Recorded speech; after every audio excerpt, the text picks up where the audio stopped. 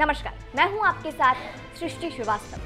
Film critic K R K को गिरफ़्तार कर लिया गया था, जहाँ धीरे धीरे उनकी मुश्किलें भी बढ़ रही थी। उन पर आरोप पर आरोप लगे थे।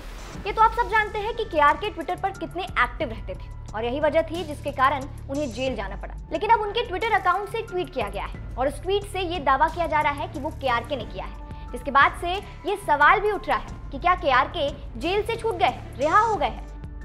अब क्या सच्चाई है, क्या पूरी बात है, चलिए आपको बताते हैं। और साथ साथ ये भी बताएँगे कि इतने दिन बाद उनके नाम से ट्वीट करने पर जनता क्या कुछ कह रही दरअसल के के विदेश से कई विवादित ट्वीट करते थे और विदेश में रहने के कारण वो बचे रहते थे। लेकिन जैसे ही के के कदम भारत में पड़े, पुलिस ने उन्हें दबोच लिया।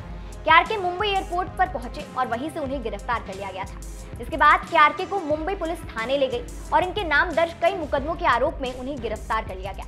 अब उनके ट्विटर अकाउंट से एक ट्वीट किया गया है। जिसमें गुस्से वाले इमोजी के साथ लिखा गया है, मैं अपने प्रतिशोध के लिए वापस आ गया।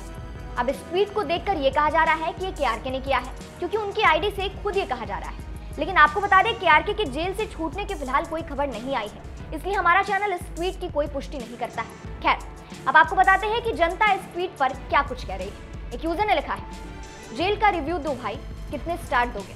दूसरे यूज़र ने लिखा love you sir welcome back we are with you always एक और यूज़र ने तो लिख दिया है, ब्रह्मास्त्र का रिव्यू पाने के लिए मैं बहुत दिन से इंतज़ार कर रहा, जल्दी से रिव्यू कीजिए। एक और यूज़र ने लिखा है, करण जौहर ने ही अंदर कराया था, कभी भूलना नहीं।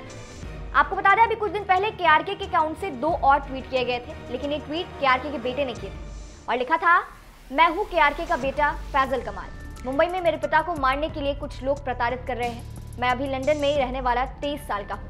मुझे नहीं पता कि मैं अपने पिता की मदद कैसे करूँ। मैं अनुरोध करता हूँ अभिषेक बच्चन, रितेश देशमुख तथा देवेंद्र फडणवीस जी, मेरे पिता की जान बचा लीजिए। मैं और मेरी बहन उनके बिना मर जाएँगे।